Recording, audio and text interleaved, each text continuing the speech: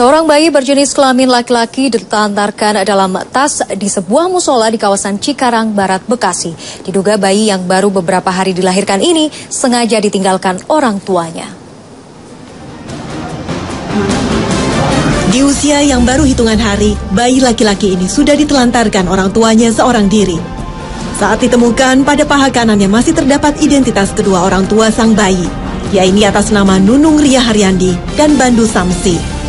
Berdasarkan gelang identitasnya pula, ia diketahui lahir pada 30 Oktober lalu di Rumah Sakit Ibu dan Anak Sritina.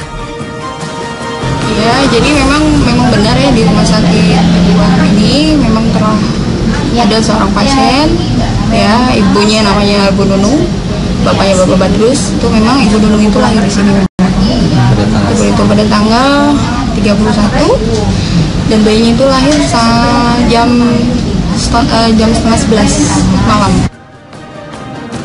Jumat pagi, warga yang akan melaksanakan sholat subuh berjamaah di Musola Al-Hikmah Kampung Mariuk Cikarang Barat dikejutkan dengan penemuan sebuah tas dan bungkusan plastik.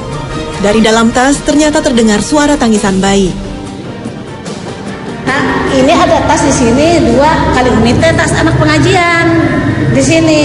Nah, kita ngobrol, habis kita ngobrol mau pulang, ada suara uh, uh, kata ya Umi itu ada ada tip ada ini apa itu?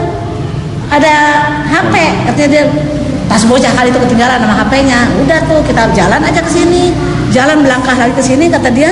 Begini kayak ini ah ah kita ada kekuatan Bayi Malang yang belum diberi nama ini masih menjalani perawatan intensif di ruang perinatologi RSIA Sritina Cikarang Barat. Sementara hingga kini pihak kepolisian Resort Bekasi Kabupaten masih memburu kedua orang tua sang bayi. Jadi Beben, Bekasi, Jawa Barat.